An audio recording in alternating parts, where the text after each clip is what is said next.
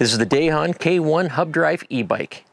Is this the best camping bike for me? And more importantly, is this the best camping bike for you?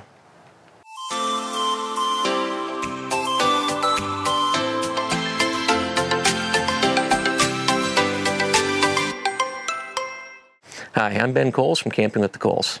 And today we're going to be looking into whether or not a folding bike is the right type of bike for you and the way you do your camping adventures. Now, Dahon is a company that's been around since 1982. They're based in California, and they are the world's largest manufacturer of folding bicycles. I'll be completely upfront here. Dahon has given me this bicycle to test out and to do a review on. Now, they're not paying me for it. They're not uh, making me say good things about it. I can say whatever I want about it. Uh, I'm not getting any commission sales on it or anything. So this is my honest opinion on this bike and generally folding bikes. Now in many of our travels, we've seen a lot of people riding folding bikes.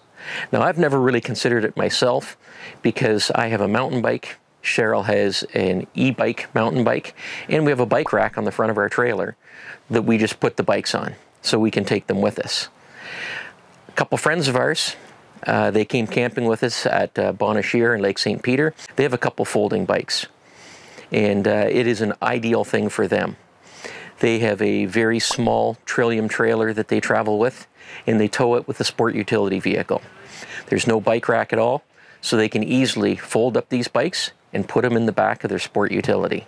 The bikes that they have are from MEC, which is Mountain Equipment Co-op. As I looked into it, I found out that the MEC bikes are actually Dahon bikes with MEC badging. So when Dahon contacted us about testing out one of these bikes, I thought, hmm, I'm not really sure if it's exactly what we're looking for in a bike, but I know it is something that a lot of people are looking for. So I thought, you know what? Let's try this thing out, see how we feel about it. So that's what we're doing today.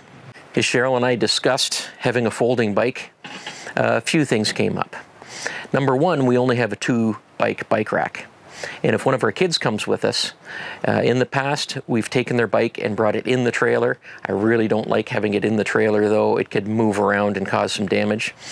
Or what we've also done is we tried to put a bike in the back of the truck.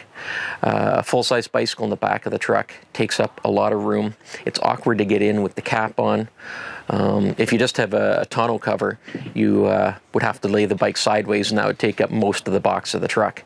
But we have a cap. It's uh, it's a little awkward to get in and to get out of. But with this thing, we fold it right up. We put it in.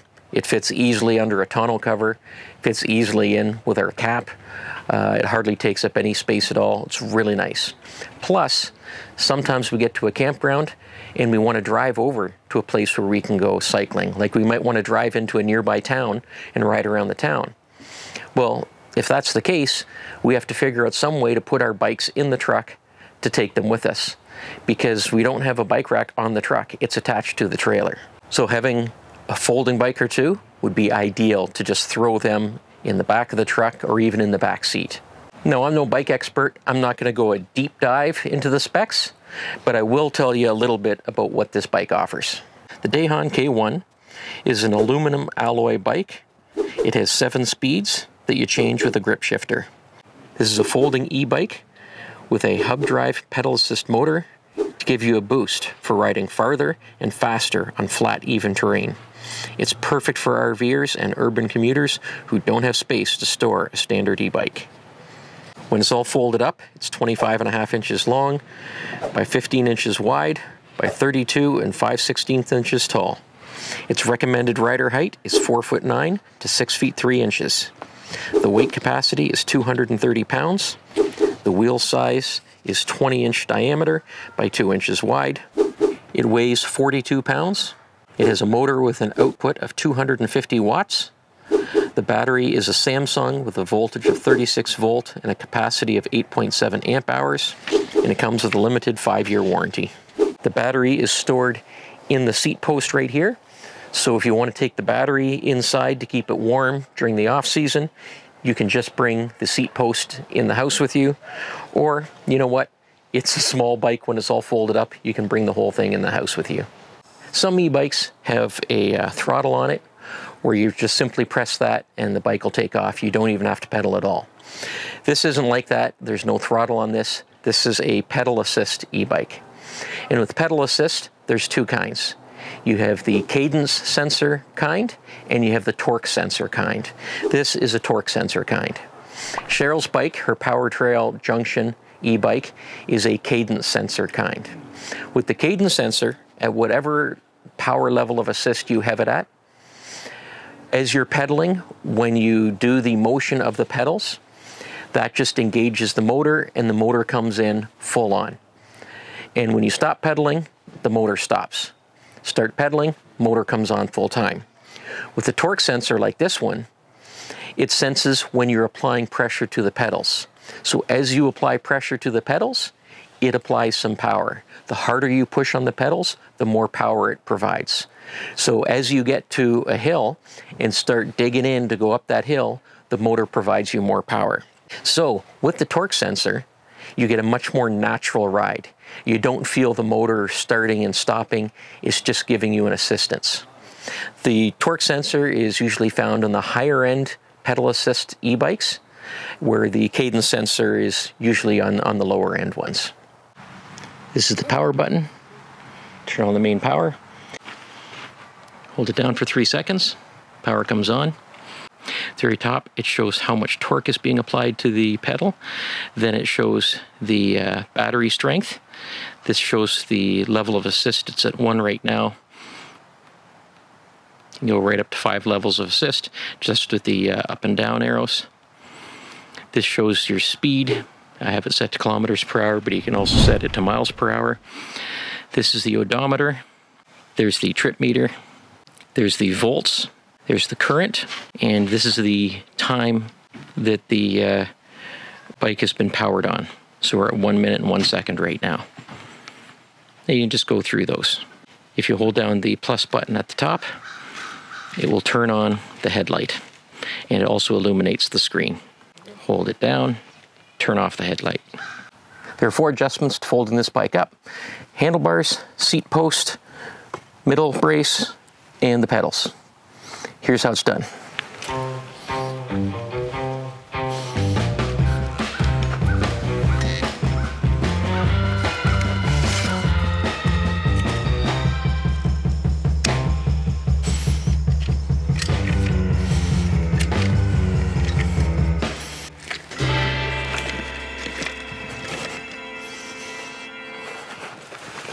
and that's it.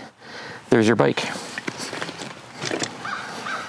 Cheryl and I have both been riding this bike around this campground, uh, along the campground roads and along the old railway bike trail. Um, I've gotten a real appreciation for it. I was really concerned with the small tires, the uh, high stem for the handlebars, the high seat post, that this bike might feel a little flimsy, might have a little bit of flex in it, but no, nothing like that. Uh, it felt very stable.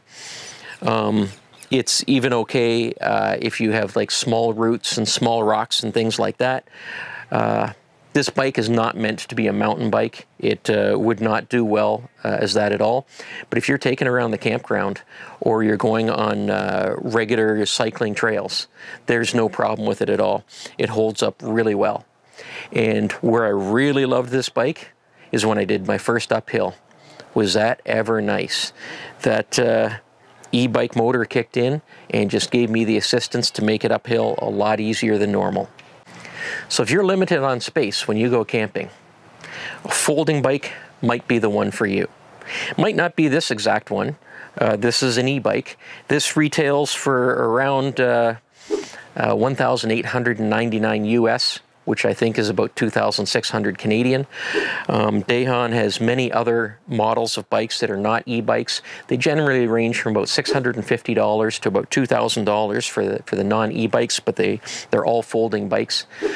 Um, the size of this, it's uh, uh when it's folded down, um, I could squeeze it into the front compartment in my travel trailer, but I wouldn't do that. It would be just too tight. But if you have a fifth wheel, something like that with uh, bigger compartments, this would fit in easily. Um, if you don't have a trailer and you just have a car that fits in trunks, it fits in hatches for a hatchback, uh, back of sport utility vehicles. Um, it's a, it's a pretty small little package and it'll fit in many places. So if you're limited on space or you have no way of putting a bike rack on your vehicle, then a folding bike is an excellent solution. So for now, I think what I'm going to be doing is on the trips that I know that we're just going to be riding around the campgrounds and doing some easy uh, bicycle trails, I'll probably be bringing this bike because this is a really nice ride. Uh, I can go uh, a lot further on it because I don't get as tired, but I still do get exercise with it. So this is the bike for that. If I'm going somewhere where I know there's going to be some mountain biking trails or other rough trails that I want to go on, I'll probably be bringing my old mountain bike for that. And if one of our kids is coming with us, then this bike is definitely coming with us because for a third bike, we'll just put this in the back of the truck and it'll be nice and easy. I'm really going to like that. So, I hope we gave you something to think about about folding bikes, about e-bikes, folding e-bikes. So you have to think to yourself, is this the kind of bike that is going to make my camping adventure even better? Well, that's it for this video, and I hope I gave you something to think about, and uh, have fun on your next camping adventure. We'll see you in the next video.